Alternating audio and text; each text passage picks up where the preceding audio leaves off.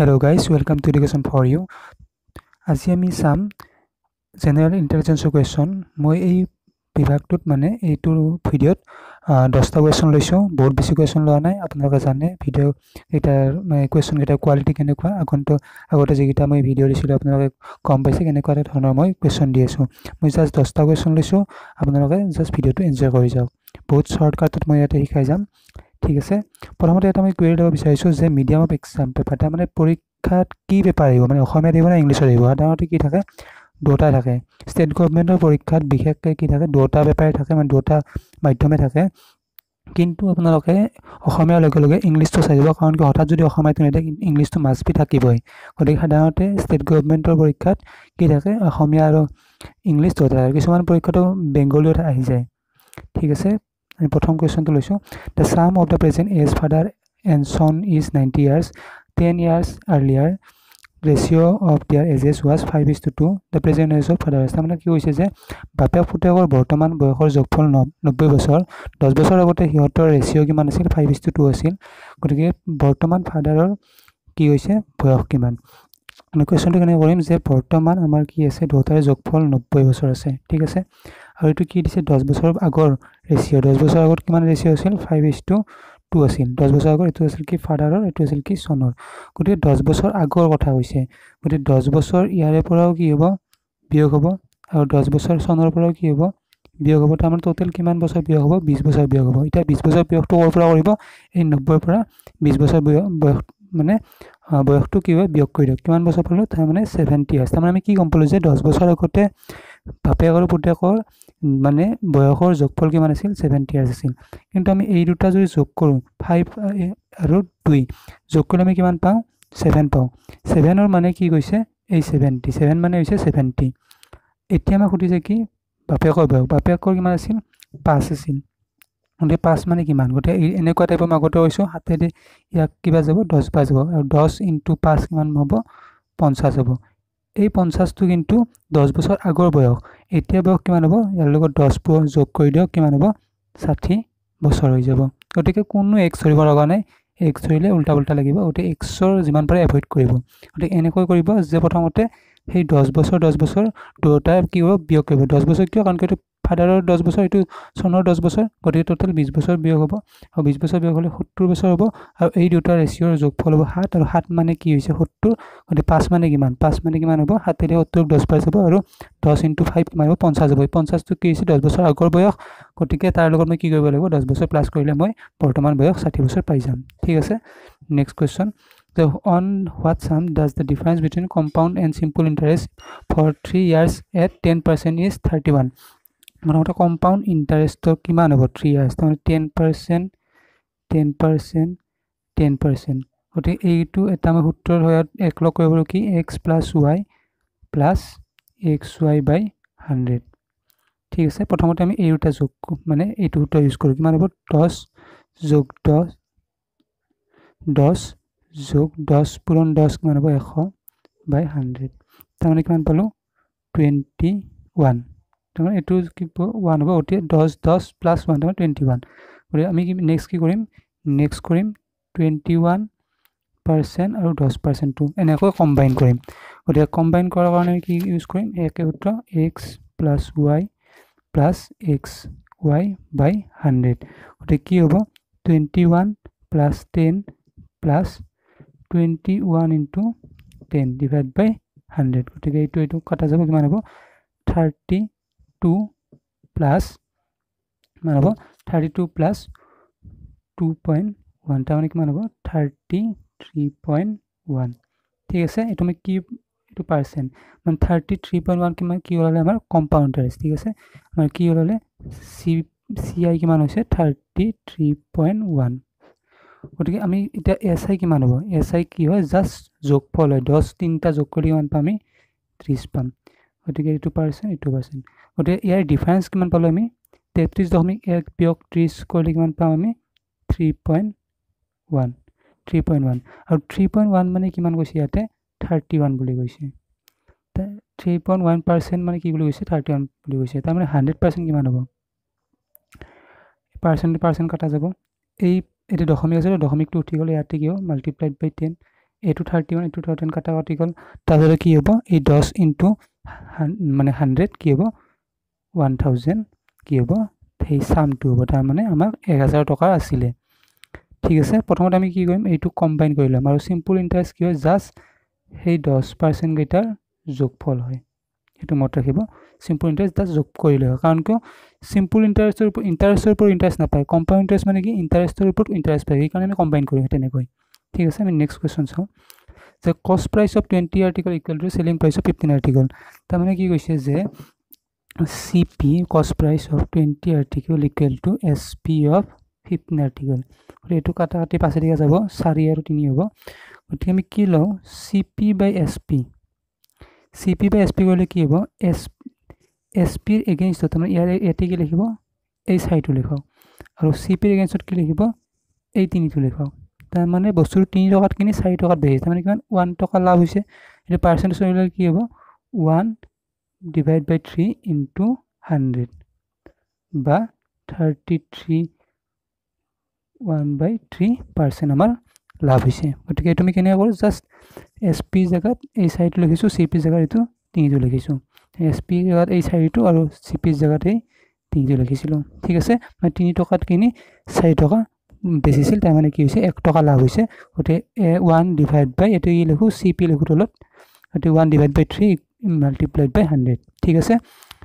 Next আমি কি কৰোঁ এই কুৱেশ্যনটো যে মই অসমীয়াটো কৰিছোঁ কি তাৰমানে এইটো কুৱেশ্যন মিনিং যে চুগাৰ মানে চেনীৰ দাম যদি ফিফ টুৱেণ্টি ফাইভ পাৰ্চেণ্ট বাঢ়ি যায় তেনেহ'লে আমি এক মানে আমাৰ যদি খৰচ একে কৰিব লাগে তেনেহ'লে আমি কিমান কনজামশ্যন তাৰমানে খোৱাটো কিমান কমাব লাগিব? যদি মানে চুগাৰৰ দাম বাঢ়িছে আমি খোৱাটো কিমান কমাব লাগিব? তাৰ কাৰণে কি হ'ব? যদি প্ৰাইচ আগতে এশ টকা আছিল সেই বাঢ়ি গৈ যদি এশ পঁচিছ টকা হয় কিয় হ'ল? কাৰণ কিয়? পঁচিছ পাৰ্চেণ্ট বাঢ়ি গৈছে।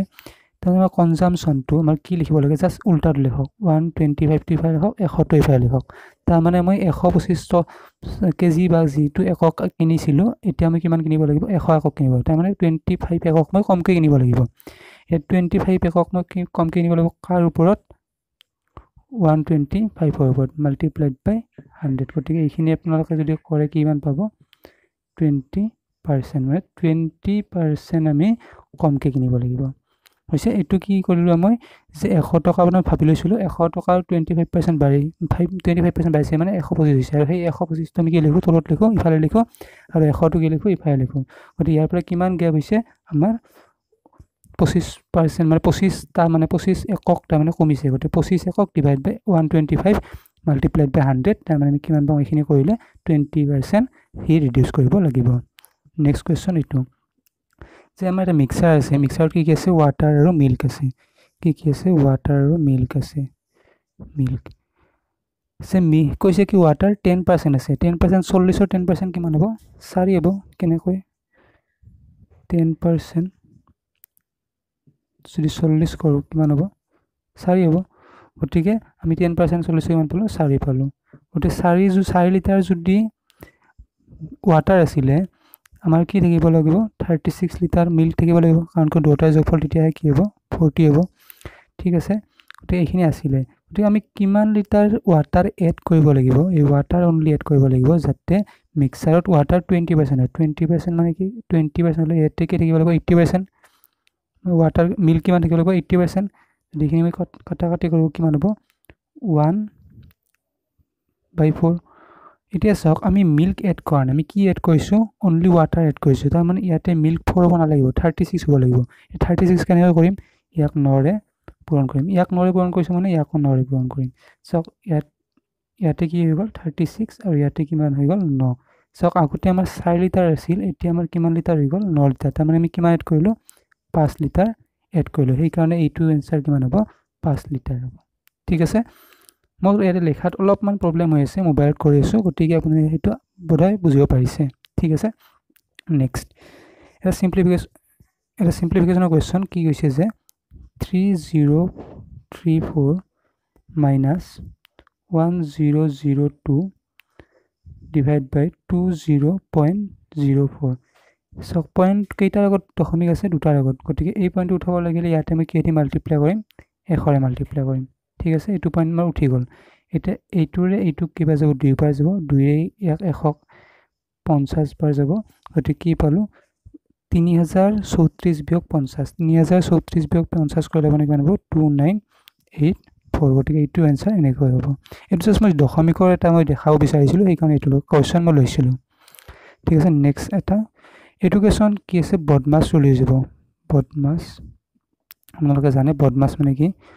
প্ৰথমতে bracket of division multiplication addition subtraction প্ৰথমতে আমাৰ এতিয়া ব্ৰেকেট নাই এইটো বাদ দিয়ক।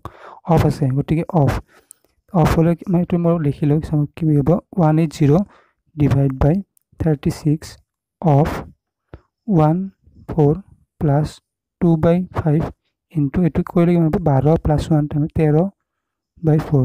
অফৰ কাম কৰক কেইবাৰ যাব ন যাব অফৰ কাম শেষ হ'লে এবাৰ কি ডিভিজনৰ কাম। ডিভিজন নৰে ইয়াক গ'লে কেইবাৰ যাব বাৰ যাব ডিভিজনৰ কাম শেষ। তাৰমানে কি ৰৈ গ'ল? বাৰ plus two by five into thirteen by four গতিকে তাত মাল্টিপ্লিকেশ্যন মাল্টিপ্লিকেশ্যন ইয়াতে দুইবাৰ যাব তাৰমানে কি হৈ গ'ল আমাৰ? এইখিনি আপোনালোকে লিখি ল'ব মই এইটো মুচি দি আছোঁ। ঠিক আছে? কি হৈ গ'ল আমাৰ?